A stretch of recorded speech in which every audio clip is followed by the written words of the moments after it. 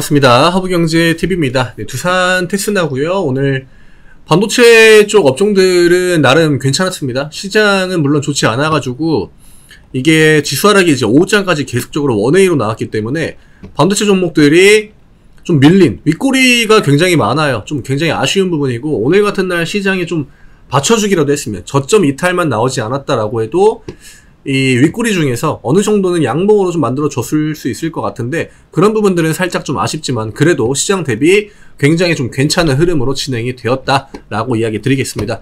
저희 카카오 채널 링크 영상 아래쪽에 남겨드립니다. 무료 종목 신청 누르시고 두산 테스나라고 남겨주세요. 그러면은 저희가 안내해드리는 무료 종목들 다음 주 월요일부터 또 한 주가 시작이 되죠. 다섯 종목 정도 순차적으로 안내해 드릴 건데 개인적으로는 다음 주는 시장이 좀 반등 구간을 줄 것 같아요. 지금 메인 업종들의 포지션도 그렇고, 그 다음에 지수 위치도 그렇고, 이제는 반등을 다음 주부터 좀 하나, 둘 보여주지 않을까. 그런 것들을 고려했을 때, 다음 주 또 무료 종목들 매매하기에는 굉장히 괜찮은 타이밍이 될 수 있겠죠.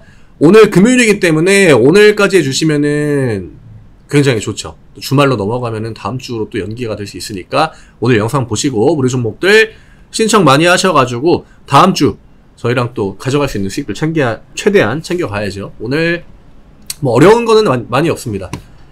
지금 가격 라인은 39,000원이에요. 그러니까 라운드 피겨 딱 경계 구간 어, 지금 39,000원이 주는 의미는 전고점 돌파를 한 번에 할지 그러니까 4만원 돌파를 한 번에 해줄 수 있는 위치 아니면 39,000원 밑에 있을 때는 결국 두 번 나눠 가지고 해야 되는 위치 딱 그 정도로 구분하시면 될 것 같고요. 계속적으로 추세 라인은 좀 위쪽을 보고 움직여주는 예, 그런 패턴들이 나와주고 있다.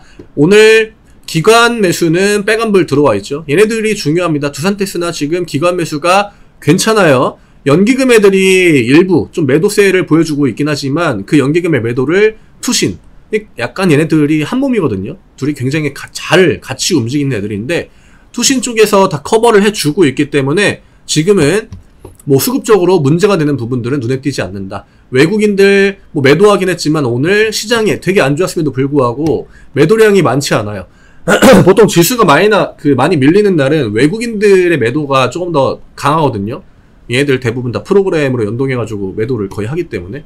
근데 그런 것들을 감안했을 때 개인도 매도 나오고 외국인 매도도 많지 않고 중요한 기관 쪽에서 빨간불 들어와 줬고 가격 라인 39,000원 유지해 줬고 시장도 마침 또 반등을 보여주기에 적절한 구간에서 마감이 되었기 때문에 지금 시장이 너무 좀 과하게 밀리는 느낌은 없지 않아 있습니다. 그렇지만 뭐 그렇다고 해도 우리나라 시장이 주장창 빠지기만 하겠습니까? 뭐 코스피가 계속 밀려가지고 뭐 2천까지 가겠습니까? 그럴 시장은 아니고 해외 시장 대비 우리나라의 하락폭이 좀 과하게 길고 또 과하죠.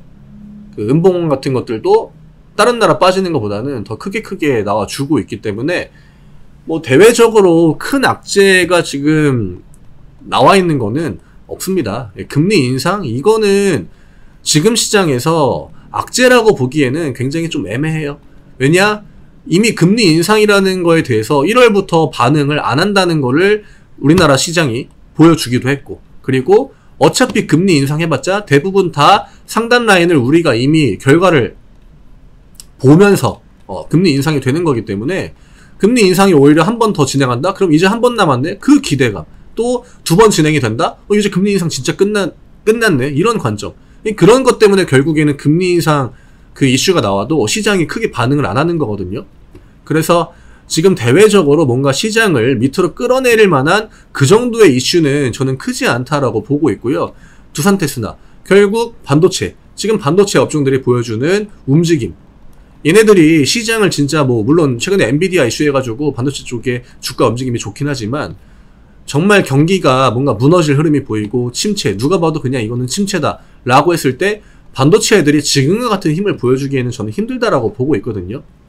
그렇기 때문에 지금 우리가 너무 막 걱정을 먼저 해가지고 그냥 막 미리 겁을 먹고 도망간다거나 그럴 만한 상황은 아니다라고 생각하고 있고 결국에는 상승 추세 안에서 나오는 잠깐의 좀 조정 구간. 물론 잠깐이라고 하기에는 조정이 좀 길게 나오고 있긴 하지만 오히려 이런 조정이 좀 길게 나와주고 다시 한번 반등 구간으로 넘어가 주면은 그럴 때 반등이 보여주는 그 강도나 혹은 그 기간이나 이런 게 더 짧지 않을 수도 있다. 그러니까 긍정적으로 볼 수 있는 부분들은 아직까지 시장이 충분하다라는 거예요.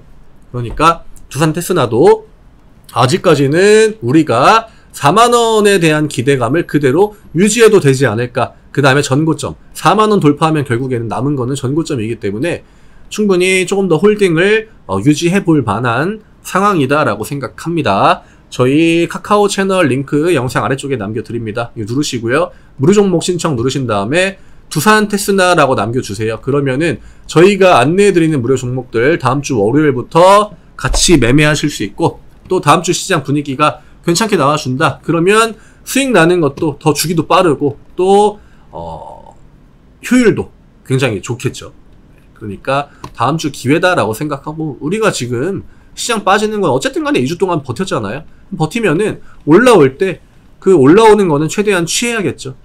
그래서 무료 종목 신청 오늘까지 해주시면은 다음 주 월요일부터 같이 매매하실 수 있다. 저는 다음 주 월요일에 다시 또 인사드리도록 하겠습니다. 수고 많으셨고 어, 주말 잘 보내시고 수고 많으셨습니다. 네, 감사합니다.